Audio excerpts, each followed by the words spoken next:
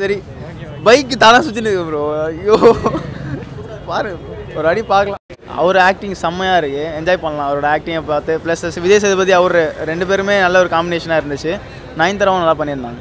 Anniyan already நீங்கள் பார்த்த மாதிரி தான் இருக்கும். அதான் நான் க கலவைன்னு சொல்லிட்டேனே. நிறையா படத்தோட கலவை மாதிரி இருக்குது அவ்வளோதான் சொல்ல முடியும். நீங்கள் ஆல்ரெடி என்ன தான் படம் பார்த்துருந்த மாதிரி பழைய படம் நிறையா சீன்ஸ் நீங்கள் பார்த்துருந்தாலுமே அதை கொண்டு போன விதம் நல்லா இருக்குது ஸ்க்ரீன் பிளேயால் நீங்கள் டூ ஹவர்ஸ் உட்காந்து பார்க்கலாம். இது வந்து வேற வேறு மாதிரி ஜோனரில் இருந்தது. ஓவரால் நல்லா பண்ணியிருக்காங்க எல்லாமே ஆஹ் இப்போ ஷாருக் கானை நான் ப்ரெசென்ட் பண்ணுறது செம்மையாக பண்ணியிருக்காரு மியூசிக் செம்மையாக இருக்குது அது ஒரு பீச்சுக்கும் நம்ம நம்ம எப்படி கூஸ் பன்ஸ் வர மாதிரி இருக்குது அந்த பீச் ஆ சோஷியல் மெசேஜ் நார்மலாக இந்த பொலிட்டிஷியன் அந்த மாதிரி தான் ஆக்ஷனும் நல்லா இருக்கு மியூசிக் நல்லா இருக்கு டைரக்ஷன் சூப்பராக இருக்கு. உண்மையிலே கதை நல்ல கதை. கண்டிப்பாக பார்க்கலாம். எல்லா படமுமே ஏதாவது ஒரு ரெஃபரன்ஸ் இருக்க தான் செய்யுது. பட் இதுலேயுமே அப்படி தான் இருக்குது பட் ஆனால் நல்லா இருக்கு. உண்மையிலே பார்க்கலாம். பக்கா ப்ரோ ஷாருக் கான் சொல்ல வேணாம். ஷாருக் கான் ஃபேன் தான். சூப்பராக இருக்கு. பார்க்க மியூசிக் மியூசிக் தான். மியூசிக் சொல்லவே வேணாம் ப்ரோ அனிருத் எல்லாத்துலேயுமே பக்காவாக பண்ணிகிட்டு இருக்காரு. இதுலேயுமே நான் பெஸ்ட்டாக கொடுத்துருக்காரு. உண்மையிலே நல்லா இருக்கு. அப்படியே ஒரு ஃப்ளோ அட்லி படம் எப்படி இப்போ ஃப்ளோவாக போயிட்டு இருக்கும் தெரி மர்சல் பிகில் எல்லாமே அப்படியே ஃப்ளோவாக போ சூப்பராக பண்ணியிருக்காரு ப்ரோ ஓகேங்க பரவாயில்ல. வேன் டப்பிங் படம்னு சொல்லிட்டேண்ணே திருப்பி திருப்பி. ஓகே இருக்கு ஆனால் இல்லை. அட்லி ஆ? மியூசிக்கெல்லாம் நல்லா இருக்கு. பிரம்மாண்டமாக இருக்கு? அவ்வளோதான் திருப்பி திருப்பி ரிப்பீட்டேஷனாக இருக்கு. என்னது டப்பிங் படம்? இல்லை அவரு. அவருக்கு ரிப்பீட்டடாக இருக்கா?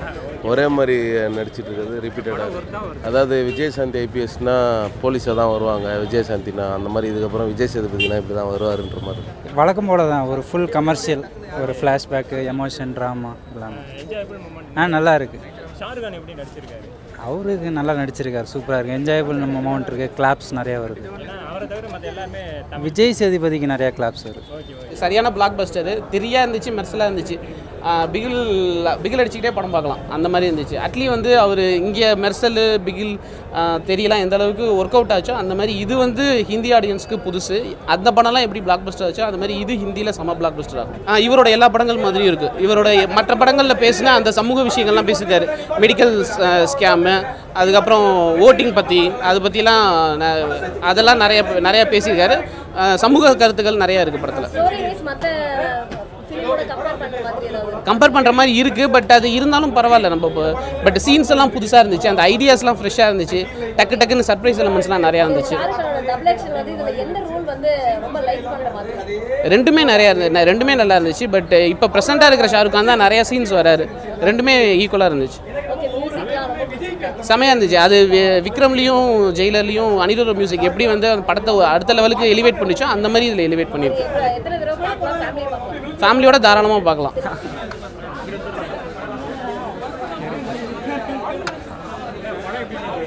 படம் வேற லெவலில் இருக்கு ப்ரோ வேற லெவலில் இருக்கு ப்ரோ படம்.